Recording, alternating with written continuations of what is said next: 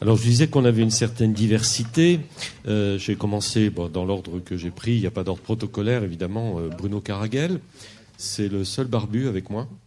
Enfin, si on peut appeler ça une barbe, c'est comme moi. C'est vraiment un, petit début, mais on sait faire que ça.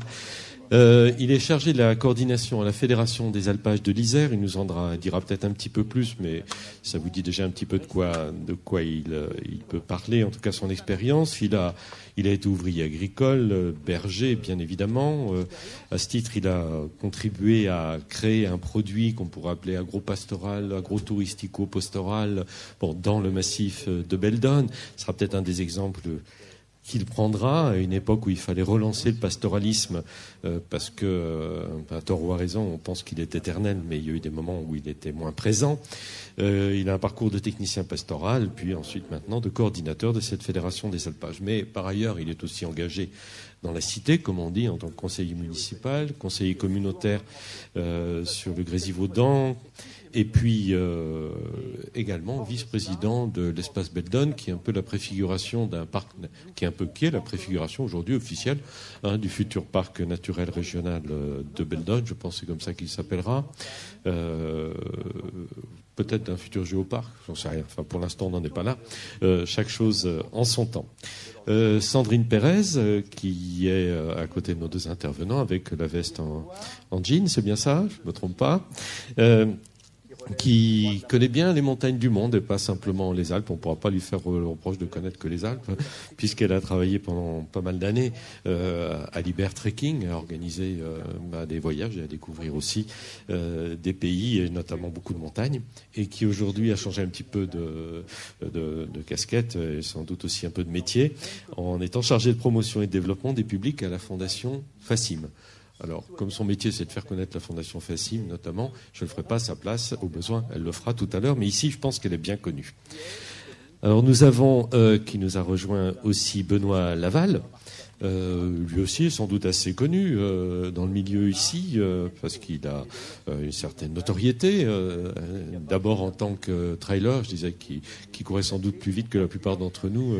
J'ai pas testé, mais j'imagine vu les références qu'il a, et qui est aussi patron, chef d'entreprise, je sais pas comment il préfère, d'une entreprise, si j'ai bien compris, qui s'appelle Red Light, plus verticale depuis quelque temps, donc qui regroupe deux entreprises qui euh, c'est pas complètement hasard, euh, fournissent euh, du matériel et peut-être plus dans le domaine du trail. Je pense que vous savez tous un peu ce que c'est que le trail. C'est ces fous là qu'on voit nous dépasser à la montée ou à la descente quand on se balade et qu'on a du mal à, à, mettre un pied devant l'autre. Et ils font ça, je dirais, en sifflotant.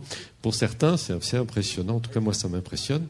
Et c'est une entreprise qui est basée dans la Chartreuse. On y reviendra. Alors, pour être un peu simple Benoît Laval, des fois, on le présente un peu comme le Yvan Chouinard de la Chartreuse. Euh, bon, pour ceux qui connaissent Yvan Chouinard et Patagonia. Ensuite, euh, dernier de nos intervenants, on a parlé beaucoup déjà de la PNR des Bauges. J'ai l'impression qu'ici, euh, chacun doit faire référence au PNR des Bauges quand il fait une intervention euh, pour montrer qu'ils, voilà, ils ont des problèmes.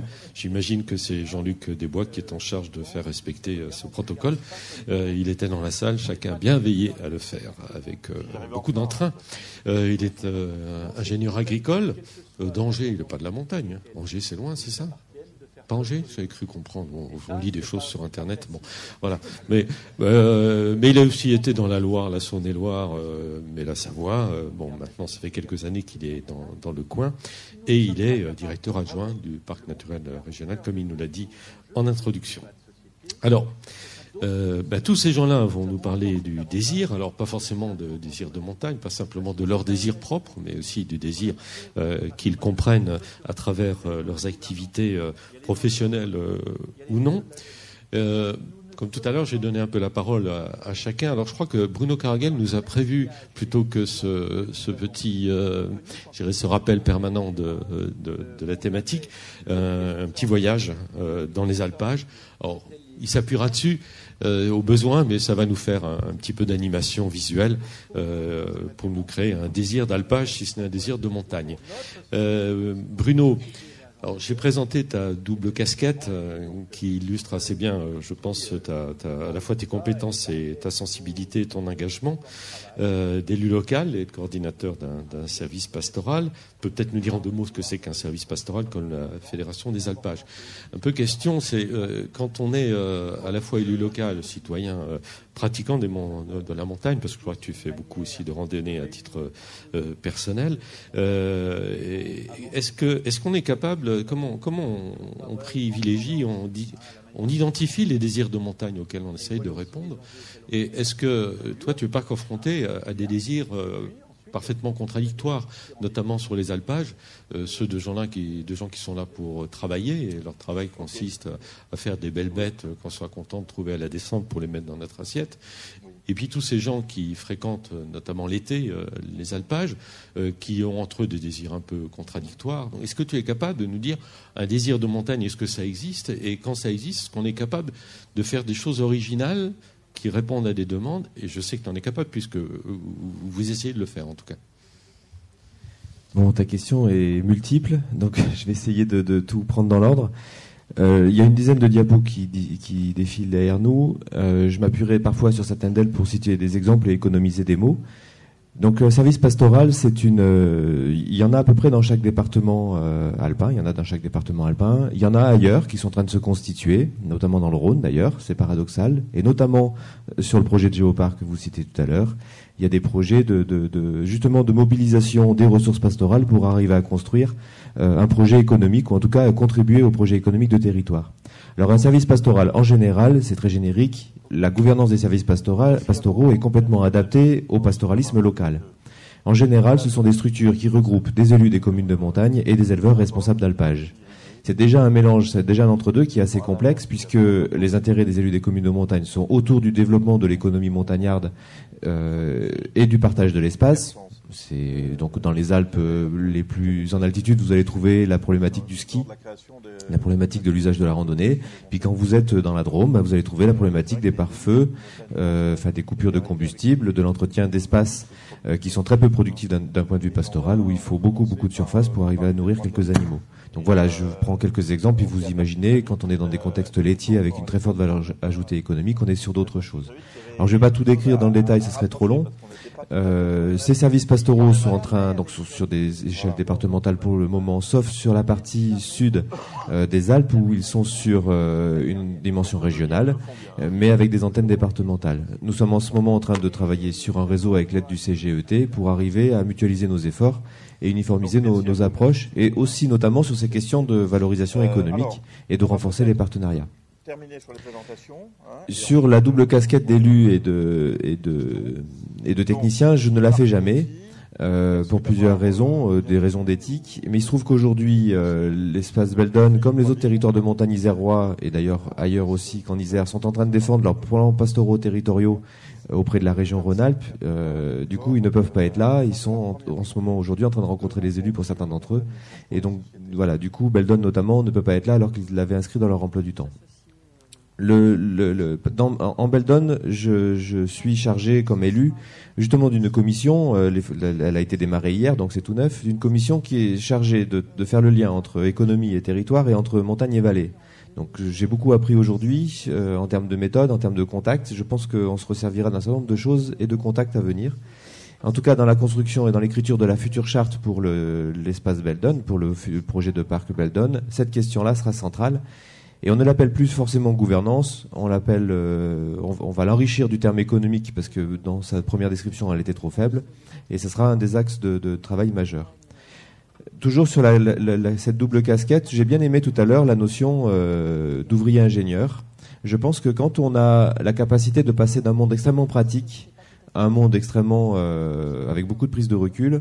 Euh, le fait d'avoir d'avoir exercé la double compétence est nécessaire pour ne pas se déconnecter de ce qu'attendent les gens de terrain ou de ce qu'ils sont capables de vivre et d'assumer, et donc du coup de ne pas imaginer quelque chose qui soit trop en décalage de ce que vivent les gens sur le terrain, et de, de se mettre en chemin vers ce que l'on imagine, parce qu'il faut toujours imaginer, ça c'est le rôle de l'ingénieur, et se mettre en chemin étape par étape sans perdre personne en cours de route.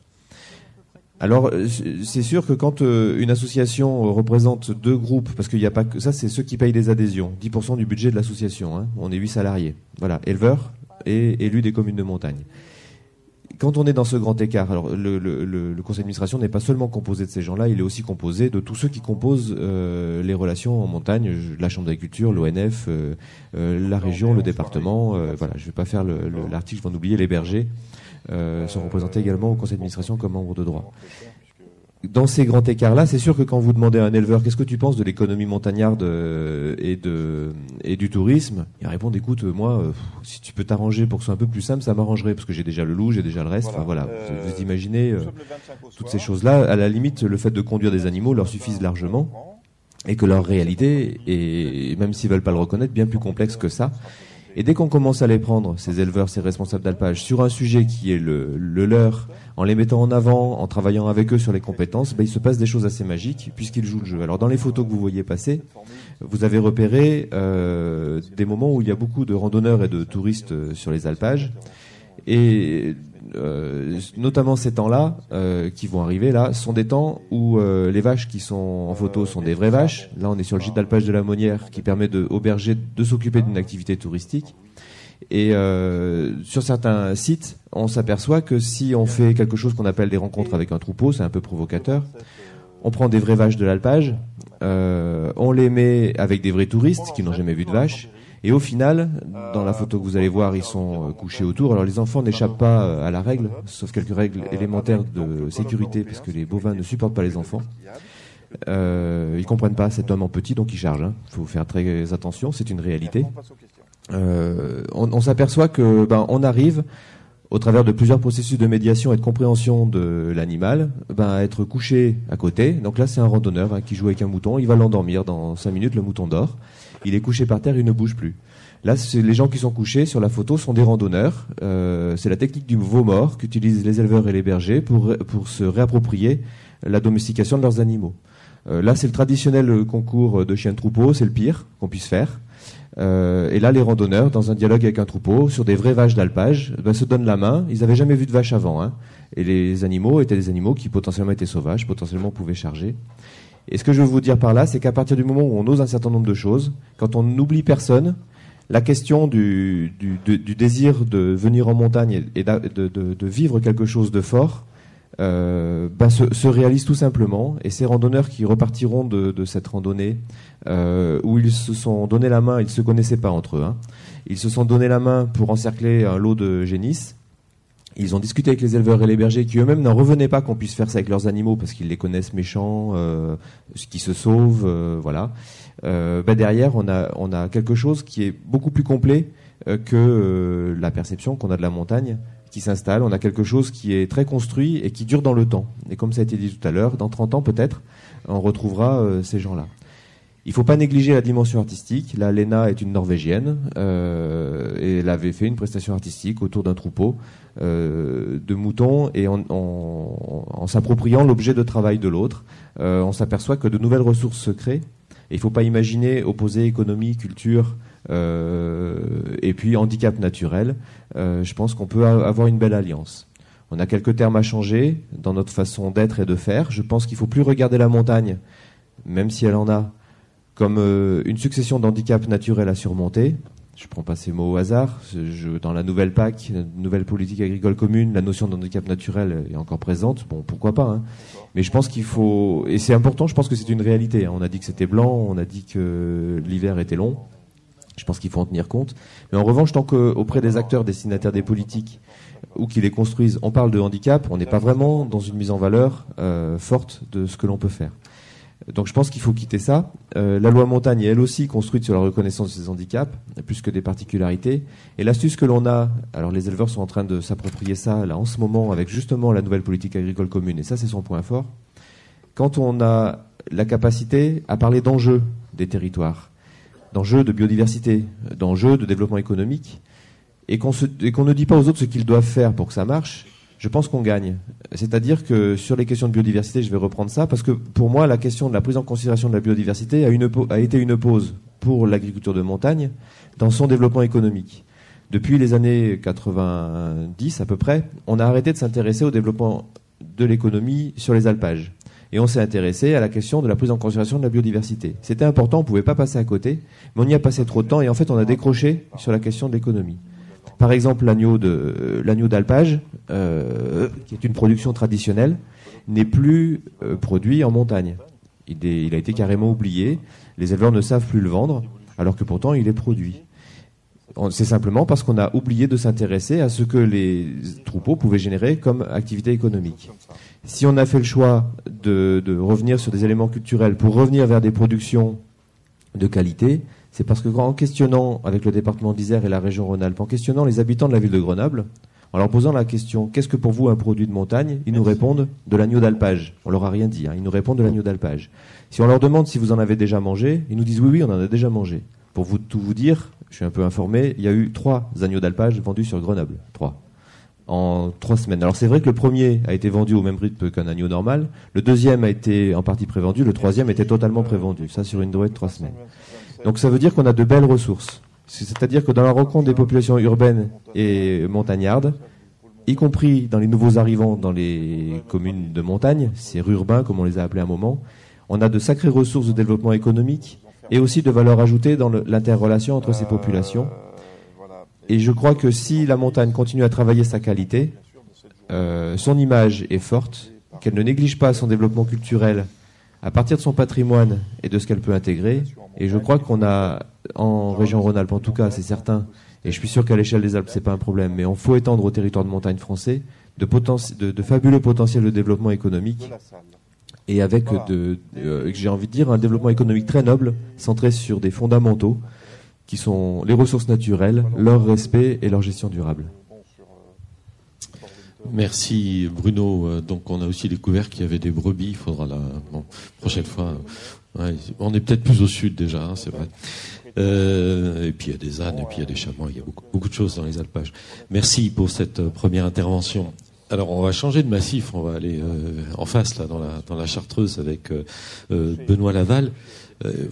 Bon, il faut un désir énorme de montagne et d'une certaine montagne pour se dire quand on quand on crée une entreprise qui fait essentiellement de la création, j'ai bien compris, de la logistique un paquet de milliers de colis à envoyer euh, tous les ans, euh, s'installer à Saint-Pierre de Chartreuse, euh, ça paraît un, petit, un petit peu fou. Donc, quand on est originaire de Paris, si j'ai bien compris, je me trompe pas, c'est pas ou pas ou la région parisienne, donc j'imagine qu'il y, y, a un parcours qui fait, qui crée aussi le désir personnel. Et puis après, deuxième question, c'est est-ce que ce désir il est partagé par le territoire?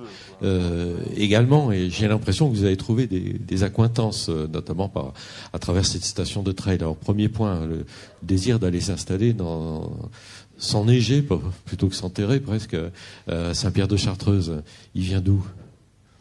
Alors, juste pour reprendre en quelques mots sur l'introduction, donc Red Light Vertical, on est deux marques. On est 40 salariés, on fait 5 millions d'euros, 20% de croissance par an. On fait 20 000 colis par an depuis la Chartreuse, et on fait donc effectivement, on a des bureaux de la logistique, mais on fait aussi de la production, puisqu'on a ouvert un atelier. On a euh, huit personnes en production depuis quelques mois, euh, depuis Saint-Pierre-de-Chartreuse. Euh, avant, avant, de parler de Red Light aussi, ce qui est important, c'est bien de voir qu'effectivement, bah, sur cette table ronde, je suis le chef d'entreprise, comme il y en avait un avant. Mais avant tout, je suis devenu un, un chartroussin, quelqu'un qui habite à Saint-Pierre-de-Chartreuse, et on n'a pas chacun nos casquettes, l'agriculteur, le chef d'entreprise, le, fonctionnaire, avec chacun sa caricature pas faire des caricatures sur les fonctionnaires ou les agriculteurs. Il y a les mêmes sur les chefs d'entreprise. Hein, donc euh, voilà. Et avant tout, euh, je suis pas que chef d'entreprise dans ma vie. Ça, je suis chef d'entreprise le temps que je travaille, mais quand j'y travaille, je suis dans un territoire euh, et, je suis pas que dans un territoire. Je suis aussi dans un territoire qui peut être la Chartreuse, mais mais je vois plus grand dans mes interactions avec Rhône-Alpes, avec la France, avec l'étranger tous les jours. Voilà.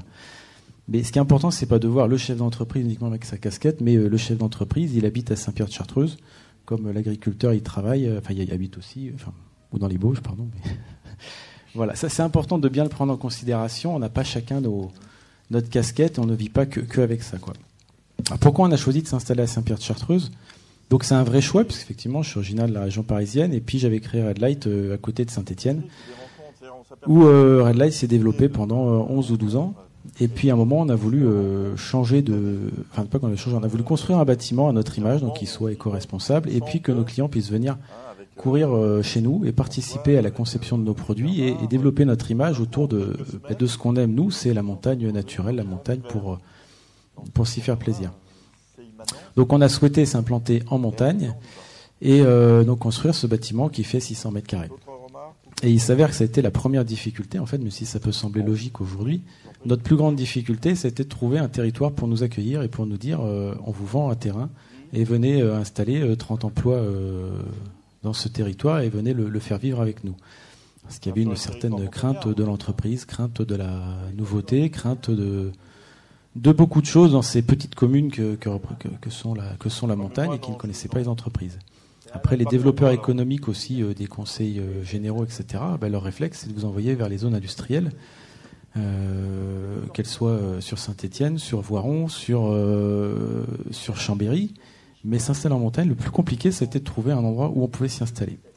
Donc on a fait le choix, nous, de s'y installer, on a fait le forcing et on a, on a choisi Saint-Pierre-de-Chartreuse parmi d'autres territoires quand on a fait notre, notre recherche parce qu'il y avait un, projet qui se, qui se présentait, c'est-à-dire que nous, les clients qu'on allait faire venir pour tester les produits et pour les concevoir avec nous, bah, le territoire a compris que ça allait être des, des touristes et qu'il allait pouvoir avoir une interaction forte avec le territoire, une interaction touristique, euh, en plus de l'interaction économique. Donc vous avez, vous avez une spécificité assez, très concrète. Euh, deux, j'ai bien compris, la machine à café, elle est pour tout le monde donc les gens qui passent, qui viennent vous voir aussi bien que les gens qui y travaillent. Et deux, c'est que vous demandez, vous mettez à disposition le matériel et vous le faites tester par les touristes euh, pour améliorer, j'imagine, euh, la qualité et la notoriété aussi sans doute de, votre matériel. Des choses très concrètes. Voilà, exactement. Donc on a, on a cette envie de faire participer à la conception des produits, mais c'est une fois, il ne faut pas prendre notre implantation à Saint-Pierre-de-Chartreuse comme un magasin. On a un magasin d'usine qui fait 2 ou 3% de notre chiffre d'affaires global. Euh, c'est bien d'être au, sein du, milieu naturel, à la fois pour nos clients d'une part, à la fois pour nous aussi, peut-être pour trouver une sorte d'inspiration avec tout ce qu'on peut, imaginer à la conception de nos produits. Surtout, la deuxième raison de cette implantation la première, donc, c'était cette volonté d'interagir entre l'entreprise et ses clients et donc d'être dans un milieu naturel.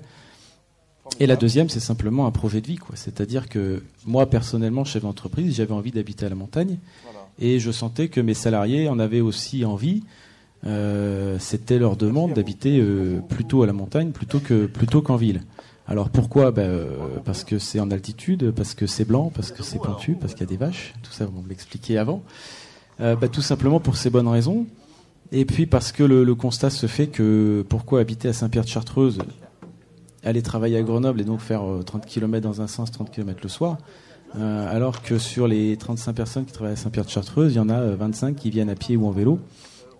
Euh, et qui, quand ils ont besoin d'aller faire des courses ou de sortir, vont à Grenoble. Mais en termes d'économie de temps et de, et de route, c'est bien plus malin, entre guillemets, de, travailler à Saint-Pierre-de-Chartreuse.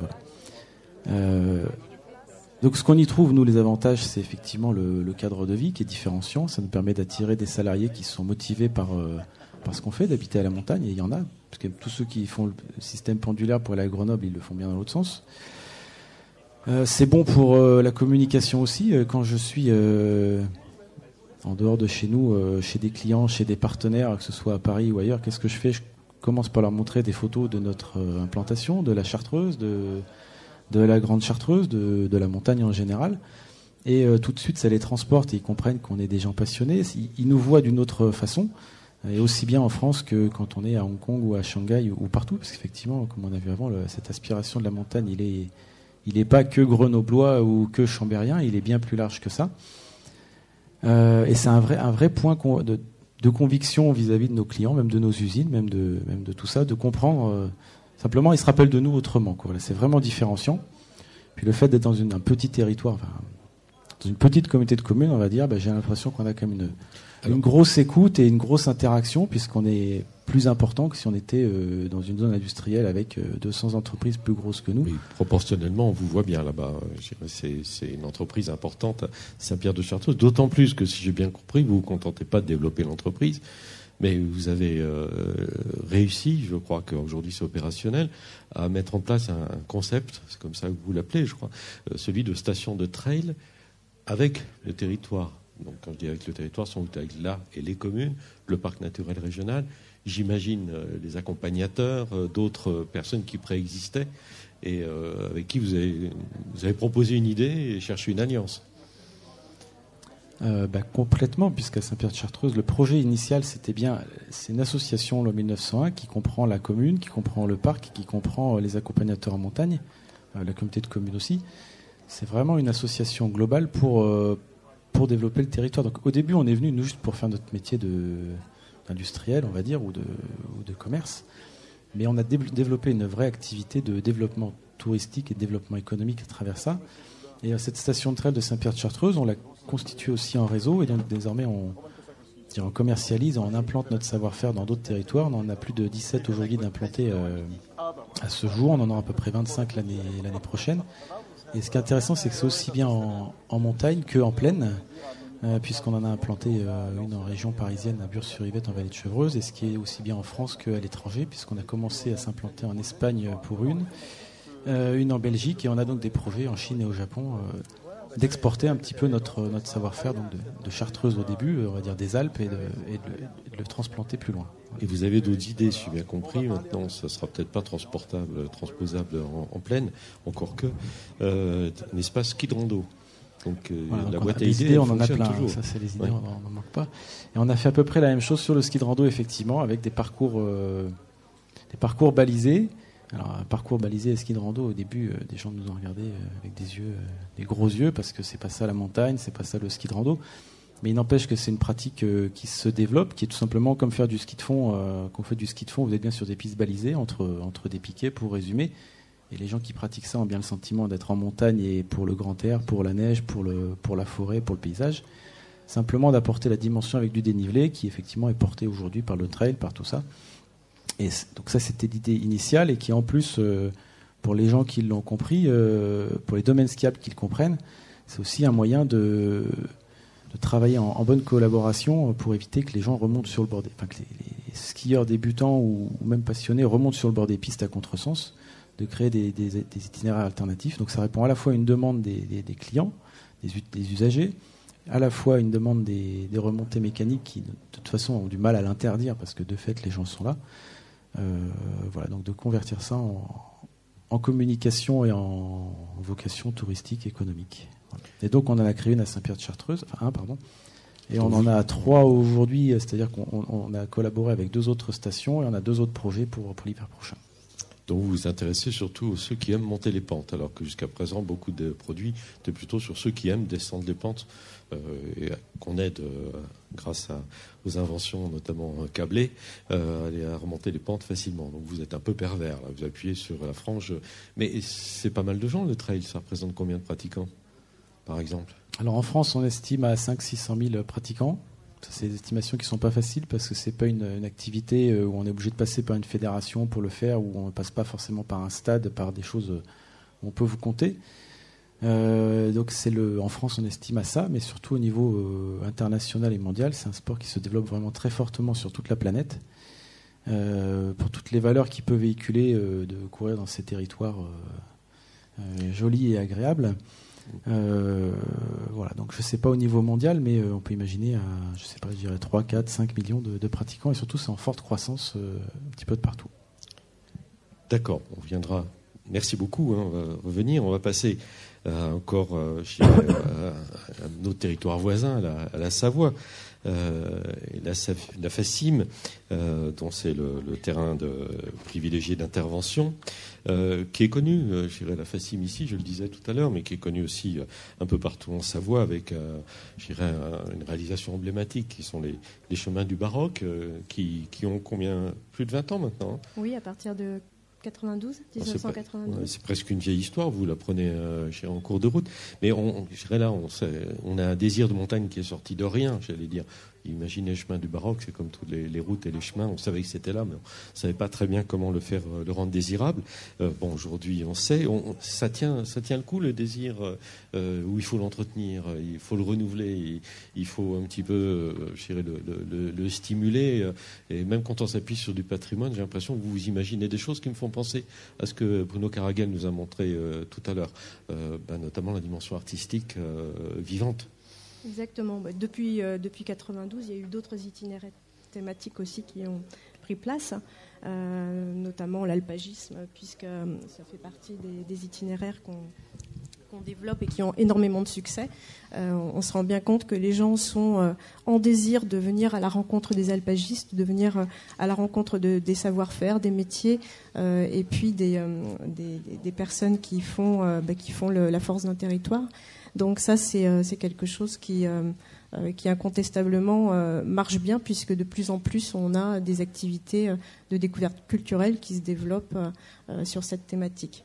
Le, baroque, vous en parliez, c'est quelque chose qui fonctionne très bien puisque ça fait encore partie des enfin, parmi nos chiffres de fréquentation euh, euh, des lieux qui sont euh, les plus fréquentés, hein, les églises et chapelles. pour resituer, on parlait de territoire tout à l'heure. Nous, on est vraiment sur un territoire physique, hein, puisqu'on est animateur du label Pays d'art et d'histoire, donc qui concerne la Tarentaise, la Maurienne, le Beaufortin et le Val d'Arly. Donc ça veut dire que ces chapelles, ces églises, on les retrouve sur ces quatre territoires. Voilà, enfin, ces quatre hautes vallées. Alors, euh, le, désir, on, essaye de l'entretenir euh, en permanence, hein, puisque euh, y a eu donc le baroque, le fortifié. on a aussi le plus récent un itinéraire autour des visites de centrales hydroélectriques qui suscite un fort fort intérêt de la part des personnes, des visiteurs, hein, que ce soit des résidents ou, ou des vacanciers, puisqu'on s'adresse à tous les types de publics. Et on constate que les gens sont vraiment en demande de savoir euh, de connaître ce qui, euh, ce qui se passe derrière, euh, derrière une centrale. Et, c'est d'autant plus une force que c'est quelque chose d'assez rare, d'assez exceptionnel, puisqu'on est aussi, on limite aussi les entrées à 15 personnes, puisque ce sont des sites en activité. Les visites se font en semaine, donc dans la plupart des cas, on se retrouve avec des, gens qui sont au travail et, des guides conférenciers qui, elles, euh, enfin je dis elles parce qu'il y a beaucoup de femmes, euh, mais des guides conférenciers en général euh, qui, bah, qui sont là pour, mettre en place la médiation entre public et puis, et puis ces sites. Si j'ai bien compris, vous essayez aussi d'allier la tradition, l'héritage dont on parlait aussi tout à l'heure, le patrimoine, et la création contemporaine. Oui, alors ça, ça, fait un mariage qui est peut-être pas toujours facile à faire. Alors c'est un mariage qui peut paraître un peu insolite pour bah, pour les personnes qui, qui, qui ne sont pas euh, adeptes ou on va dire connaisseurs euh, de, de l'art contemporain ou, ou, de la création. Euh, c'est une c'est un projet qui, qui, est mis en place à la Fondation depuis deux ans déjà. On a un artiste associé au Pays d'art et d'histoire qui est Laurent Morisseau, qui a travaillé notamment avec des collégiens du Collège de Beaufort sur un, thème qui est Dessine-moi le goût du Beaufort.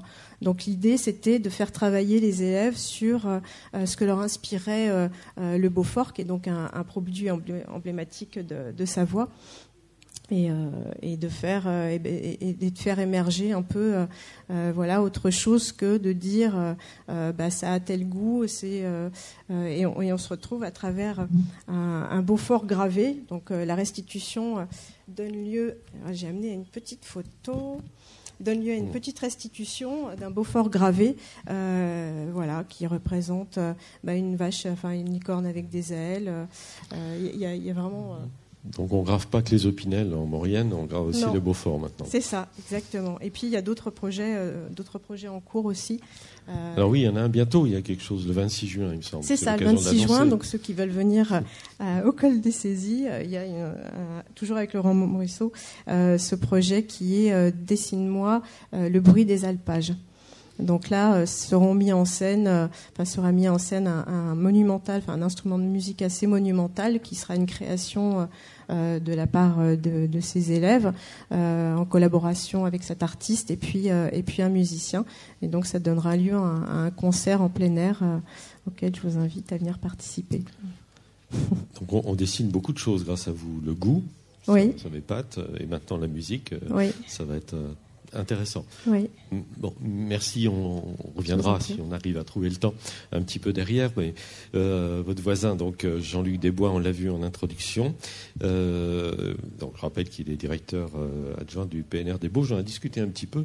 Et moi, j'en ai retenu quelque chose un peu pour le, pour le provoquer, et puis provoquer tous ceux qui ont parlé des Bauges, que cette île montagnarde, je ne connaissais pas l'expression, est un peu un espace moyen où le moyen est valorisé, voire glorifié, et, ça me paraissait assez intéressant. C'est de la moyenne montagne. Je pense que tout le monde l'a compris parce que ça culmine à 2000 et quelques. mais j'ai cru comprendre c'était aussi intéressant parce qu'il y avait une forme de peut-être à travers la fréquentation, les gens que vous voyez, puis ceux que vous essayez d'attirer, euh, une sorte de désir d'une moyenne, d'une montagne moyenne, euh, moyennement naturelle, euh, pas que naturelle, moyennement habitée aussi, pas trop, moyennement accessible finalement, euh, moyennement enneigé. Euh, bon, une sorte d'éloge du moyen dans un monde qui est plutôt euh, dans, dans l'éloge du plus, du plus grand, du plus petit, du plus rapide. Est-ce que c'est un peu une carte de visite où je me suis trompé? Et deuxième chose beaucoup plus sérieuse, je crois que le désir de montagne, vous le faites essayer de l'élaborer ou de le comprendre dans une démarche que tout à l'heure, je ne sais plus qui a qualifié de gouvernance coopérative, qui me semble originale justement dans les relations comment émerge un désir partagé entre les villes, notamment les villes portes, et euh, cet espace euh, qui s'est regroupé au sein d'un PNR. Alors la moyennitude, ça existe chez vous? Euh, Oui, ça existe. J'ai peut-être commencé par le projet peut-être de gouvernance un petit peu élargi. c'est plus sérieux, on est d'accord. Non, mais non, mais je reviendrai, je reviendrai à l'aspect moyen parce que ça va un peu avec. Le, on l'a dit tout à l'heure, l'historien l'a dit, les Bauges ont, subi une émigration assez forte. Hein. Euh, donc on s'est retrouvé sur un territoire complètement déserté avec plus d'économie. Euh, voilà, l'agriculture euh, restait, mais sinon il n'y avait plus beaucoup d'habitants, quoi. Et il, fallait chercher un projet de territoire pour redynamiser un peu cette économie. Et tout de suite, les élus ont dit, ben, on va pourquoi pas faire un, parc naturel régional. Mais ils auraient pu réfléchir à l'échelle du cœur des Bauges, qui était la partie un petit peu la plus défavorisée, on va dire comme ça à l'époque. 5000 habitants, hein, c'est ça le cœur des Bauges. Voilà, pour 70 000 habitants dans, l'ensemble du territoire aujourd'hui. Euh, en fait, ils n'ont pas du tout fait ça. Ils ont fait déjà le choix initial de dire, euh, voilà, nous, on va, on va intégrer euh, ce projet de territoire à l'échelle du massif avec ses piémonts habités, plus, beaucoup plus fortement habités. 450 000 habitants, vous dites, alentour. Le, voilà, les, grandes agglomérations autour de cette île montagne, là, il y a 450 000 habitants qui habitent. bon, alors ils ne sont, pas dans, ils sont pas dans le parc aujourd'hui, puisqu'il n'y en a que 70 000. Hein mais c'était de dire, euh, pour une cohérence territoriale, il faut qu'on réfléchisse à, cette échelle-là, et pour qu'on implique un peu les populations alentours euh, dans ce lien urbain-rural. Et, là, déjà, c'est, moi je trouve que c'est un petit peu innovant. Alors les parcs commencent à avoir quelques années, mais déjà réfléchir à une échelle comme ça, immédiatement dans le projet initial, c'était déjà intéressant. Et puis l'autre aspect, c'était d'embarquer les villes portes. Donc il y a six villes portes autour du massif. Euh, alors les embarquer pas territorialement parce qu'ils font pas partie du territoire parc. Par contre, c'est les embarquer euh, de manière euh, en, gouvernance. C'est-à-dire pour ramer avec vous, c'est pas les embarquer comme passagers. Alors pour ramer avec nous et peut-être pour ramer avec eux, quoi. Voilà. Alors on, on, y est peut-être pas encore totalement. Peut-être j'en dirai un petit mot, mais en tout cas ramer ensemble. Ça, c'est sûr. Alors aujourd'hui, les villes portes, elles font et dans les projets de parc, c'est un petit peu comme ça. Elles font partie de la gouvernance du territoire qui est plus rural elles font partie du syndicat mixte, elles participent à, son fonctionnement et elles participent à son pilotage. Donc, depuis le début du projet, euh, il y, a, ce lien voulu de gouvernance euh, entre la ville et le territoire plus rural, on va dire comme ça, mais qui intègre déjà un piémont habité. Alors, euh, ça, ça suffit pas. enfin, peut-être je le pense comme ça, avec un peu de recul. Aujourd'hui, ça suffit pas. Donc, ils participent à cette vie de parc mais peut-être qu'on a on n'a pas assez de projets communs à développer. Voilà, donc il y a, peut-être une gouvernance à améliorer. Je, reviens à, un petit peu cet aspect de désir aussi et cette création et cette volonté de, créer un parc naturel régional. On revient un peu aux discussions de début sur changer les, les échelles aussi. Euh, un parc naturel régional, et eh ben, il sort des échelles des, des, gouvernances administratives habituelles. Quoi. Donc on est sur la Savoie, la Savoie, Civil Porte, euh, voilà, enfin, plein d'intercommunalités en partie. Voilà. Et en fait, on réfléchit le projet de territoire de manière intégrée plutôt sur un bassin de vie, plutôt que sur des échelles administratives. Alors ça, c'est la théorie, ça donne envie parce qu'on peut vraiment réfléchir à un projet. Bon, après, en pratique, au quotidien, c'est plus compliqué à organiser parce qu'on est vite rattrapé, effectivement, par les enjeux de chacun euh, sur des compétences un peu. Euh, Alors en fait, on a besoin, on parle de désir, et le désir, on a aussi besoin de créer pour nos partenaires euh, décisionnel, financier des autres territoires voisins. Ce désir de territoire, on n'a pas qu'à le créer, à le donner vers les habitants et vers nos visiteurs, il faut qu'on le donne aussi vers nos partenaires. Donc ça, c'est un point qu'on essaye de travailler aussi. C'est pas le plus facile, mais ce désir-là, montagne, de point de vue des partenaires qui sont quand même beaucoup en milieu urbain, plus en milieu urbain, il est important à créer aussi. Quoi. Ça, c'était un peu sur l'aspect gouvernance, gouvernance, et coopération. Hein, donc l'idée. Oui. Déjà aussi, vous êtes à l'articulation de deux entités administratives pour combien de temps elles vont durer, je ne sais pas, entre deux départements. Ce qui est, ce qui est, pas simple, mais c'est le cas de beaucoup de, PNR. Hein. Mm. Donc voilà, et on, parlait un peu de, de, réflexion nouvelle sur les modes de gouvernance. Bah c'est ça, c'est sortir un peu des échelles pour parler d'un autre projet de territoire. Alors, est-ce que le moyen est devenu désirable dans un monde euh, qui, qui m'a l'air plutôt de, de, considérer le moyen comme médiocre alors, il est, alors, euh, il est, il est, pour nous, c'est un territoire. Enfin, on le dit tout le temps, c'est un territoire qui est très préservé. Alors du fait de, du fait de, de l'immigration qu'il y a eu, on va dire comme ça, et du, et du manque de développement. Aujourd'hui, c'est une chance. On le vit comme ça. C'est effectivement un territoire très accessible, bien qu'on dit île-montagne, en fait, c'est pas vrai. Hein. Il y a toujours eu des échanges avec. Il y a régulièrement des bateaux qui accostent. Absolument. Et puis depuis toujours. Donc, euh, en fait, c'est une, une, mauvaise image. Euh, elle est intéressante d'un point de vue euh, visibilité, comme on l'a vu, mais en fait, c'est pas une vraie image, quoi. Donc, euh, et, en fait, on développe le désir de, notre territoire à travers ça. On dit c'est un territoire préservé, ce qui est vrai. On, base notre développement euh, sur la mise en valeur de nos patrimoines, hein, qu'ils soient culturels, naturels, géologiques, euh, les savoir-faire locaux, euh, que ça le bois, l'agriculture, voilà, tout. On développe ça là-dessus et on dit venez reprendre un peu le lien à la terre. on l'a dit aussi dans plusieurs interventions. Euh, venez prendre le lien à la terre chez nous, venez vous ressourcer. Et un des axes de développement économique de la charte du parc, c'est celui-là, développer le tourisme autour de ça. Donc on essaye de vendre cette image, et là, on est vraiment dans l'image et dans le désir et dans le concept, mais qui, n'est Alors ça c'est pour le, vendre d'un point de vue, euh, venez habiter, venez nous visiter, euh, venez faire du tourisme. mais on, j'ai perdu mon fil. c'est vent de tourisme, mais peut-être pas seulement. Non, mais pas seulement. Non. Et alors oui, c'était de dire aussi euh, cette image-là, euh, ce n'est pas qu'une image. On la travaille pour ça, mais c'est aussi une réalité de notre territoire. Voilà. Il y a une vraie. Alors, on est dans une économie qui est mélangée entre du tourisme, du présentiel. Euh, on a un peu tout ça. Il n'y a, a, pas grand-chose qui se dégage. Euh, et, euh, et, on a du mal, enfin moi je trouve qu'on a du mal, au-delà on dit, on dit on va, on va développer de l'économie autour de ces patrimoines, euh, de, ces, de ces visiteurs, même, même quotidiens, qui viennent principalement de nos villes de porte, de nos villes urbaines. Mais en fait, ça c'est facile, on raconte une histoire, on les fait visiter, ils viennent très agréablement. Mais comment faire de l'économie autour de tout ça? Ça c'est un problème beaucoup plus difficile. Une station Pourquoi pas? Pourquoi pas? Mais ça, c'est ça, c'est une vraie difficulté. Et peut-être qu'après 20 ans de, de développement parc,